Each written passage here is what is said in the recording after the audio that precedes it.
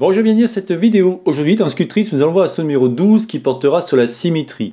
C'est petite icône, vous voyez, qui est un double, flèche qui va nous permettre, fin compte, de pouvoir, euh, lorsque vous sculptez un élément, euh, vous allez pouvoir, mettons, sculpter un bras, automatiquement de l'autre côté, c'est un peu comme du mirroring, en fin compte, de l'autre côté, le bras se sculpte. Donc on va faire en sorte d'abandonner notre monstre habituel et je vais en prendre un nouveau. Là, je vous montre de suite la photo et je vous montre aussi l'original où je me suis inspiré entre guillemets de ce personnage. Donc sans plus attendre, regardons cela sur Sculptrice. Donc nous voici sur Sculptrice. Alors comme vous pouvez voir, je me suis amusé à créer ce petit personnage, bien évidemment par rapport à un blueprint. Hein. Ce qui est assez intéressant aussi, c'est quand vous sculptez un objet ou, euh, autre chose, c'est d'avoir en fin de compte un, modèle. Alors pour cela, il suffit d'aller dans Options. Vous allez ici dans Background, vous cliquez ici, vous voyez, si vous cliquez sur euh, Background, et ensuite, on va faire en sorte de récupérer, c'est-à-dire nos éléments. Alors là, je vous ai fait, vous voyez, euh, tout simplement un mélange des différents, du, différentes positions du personnage pour que vous puissiez voir un peu comment il est. Vous voyez, on a différentes... Euh, je fais ça vite fait sur Photoshop, mais quoi qu'il en soit, vous cliquez ici et vous cliquez sur Open. Et automatiquement, vous allez voir, vous voyez, on va pouvoir en fin de compte directement avoir notre élément pour avoir un modèle pour sculpter. Bon, là, ce n'était pas la leçon, mais c'était pour vous expliquer ça. Alors, pour revenir au début, il suffit tout simplement d'aller dans Options, Background. Alors moi je suis sur Mac, hein. alors attention. Hein. Donc je vais dans Applications, je vais cliquer sur Sculptrice, je vais dans Data, Background et je clique sur Open. Ce que je ferai, c'est que je vous mettrai le fichier euh, background euh, en pièce jointe tout à l'heure que je vous montrerai sur mon laboratoire Savoir pour tous, où vous puissiez récupérer à la fois par exemple les références, en sachant que vous pouvez le trouver sur internet, et aussi le fichier background directement euh, pour ceux qui veulent le mettre en fond d'écran.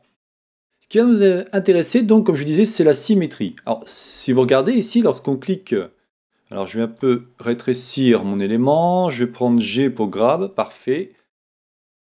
Vous voyez, si je fais par exemple ce genre de choses, automatiquement, ça s'est répercuté de l'autre côté. Donc là, je fais pomme Z ou CTRL Z pour annuler. Et je vais tout simplement décocher celui-ci. Et là, il me dit, attention, vous êtes maintenant, vous avez travaillé que sur une seule, euh, un seul côté. Donc je fais OK. Et regardez, imaginons ici, alors je prends D, la brosse, on va faire en sorte et de faire juste ça, vous voyez Par exemple, je vais faire quelque chose comme ça, mais juste de ce côté-là. Très bien, impeccable, bon, j'ai ce que je voulais. Euh. alors imaginons ici, je vais prendre G, je fais n'importe quoi, bien évidemment, hein. c'est pour vous expliquer comment fonctionne cette fameuse symétrie. Et là, je vais faire quelque chose comme ça. J'aime bien faire des petits trucs comme ça, bon voilà. Le problème, vous voyez, c'est que là, ça ne s'est pas répercuté. Normal, parce que ici, votre symétrie n'est pas cochée. Que se passe-t-il si je clique dessus? Ben Regardez, je vais cliquer dessus et je vais simplement dire oui. Alors il dit attention, vous allez enlever la symétrie, enfin en l'occurrence les détails de la symétrie, cliquez sur OK. Et quand on clique sur OK, en fin de compte, celui-ci va répercuter automatiquement ce que vous avez fait. Donc vous voyez, cela est intéressant car tout ce que j'ai dupliqué, tout ce que j'ai créé, on va dire, du côté droit, c'est dupliqué du côté gauche. Le problème, c'est si vous vouliez faire quelque chose d'asymétrique et non symétrique, bah, automatiquement celui-ci est répercuté. Alors je vous conseille deux choses. Soit vous allez sculpter en mode, donc vous décochez ici, vous cliquez sur OK et là vous sculptez. Mais ça sous-entend qu'à chaque fois il faudra faire des deux côtés votre sculpte. Donc c'est pas évident parce que en tant que ou alors il faut vraiment que vous soyez bon en sculpture et que vous ayez vraiment le bon coup d'œil. Si je vous montre un autre logiciel qui s'appelle ZBrush Core, donc on fera un cours bien plus tard dessus, vous voyez, celui-ci il est assez intéressant parce que quand je clique ici, vous voyez, là il vous montre la symétrie, donc si je fais ça, vous voyez, je peux faire ma symétrie, pas de problème. Et si j'appuie sur X, ma symétrie disparaît. Je rappuie sur X, vous voyez ce qui s'est passé? Il est assez intelligent pour comprendre que celui-ci, il n'a pas dupliqué ce que je lui ai demandé, c'est qu'il a compris que là, ok, j'étais donc en mode symétrique et après je suis en mode asymétrique. Donc bien évidemment, euh, on ne peut pas comparer celui-ci à Sculptrice car ce logiciel euh, coûte, euh, bon il n'est pas énorme, mais il coûte 149 dollars. Vous le retrouvez ici, voyez, si je clique ici, on va dans Pixologique et automatiquement, là je vous montre le lien dessous, et vous allez pouvoir récupérer celui-ci. Mais bon, ce n'est pas le but du cours, c'était juste pour vous montrer ça. Si je reviens maintenant sur Sculptrice, nous avons donc notre personnage. Donc comme je vous disais, enfin quand vous l'aurez bien compris, ce petit outil symétrique va être très utile quand vous voulez faire une symétrie au niveau de votre objet ou vos personnages. Vous voyez par exemple si on prend ici les doigts, évidemment à chaque fois que j'ai fait en sorte de créer mes doigts, ben, il est bien évident que celui-ci m'a répercuté de l'autre côté parce que j'avais fait en sorte de laisser le bouton ici symétrique d'enfoncer. Si par contre celui-ci n'avait pas été enfoncé, bah là bien évidemment il aurait fallu que je fasse à l'identique. Et moi j'avoue que je n'ai pas la capacité ou le... Et il faut avouer que c'est plus compliqué de faire de ce sens-là.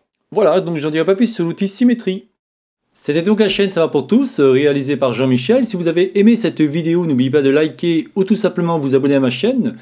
N'hésitez pas à me faire des commentaires, je me ferai un plaisir de vous répondre. Pour finir, je vais vous montrer donc sur mon laboratoire savapourtous.eu comment récupérer les différents éléments. Donc comme d'habitude, vous devez cliquer ici sur le mode graphisme, le module graphisme, et ensuite on va cliquer sur le module Apprenons Sculptrice. Vous voyez, on clique sur En savoir plus. Vous allez tomber sur différents éléments, alors là je vous conseille de regarder, vous verrez c'est assez intéressant, vous avez différentes informations euh, que j'enrichis au fur et à mesure des vidéos. Mais dans notre cas, il faudra cliquer sur vidéo. Et là vous aurez euh, donc les vidéos en l'occurrence que vous retrouvez sur YouTube, mais surtout ce qui va nous intéresser, voyez, c'est ce petit personnage qui est ici. La vidéo pour l'instant n'est pas mise en ligne puisque je ne l'ai pas encore mise en ligne. Mais ici par contre vous trouverez le fichier zippé.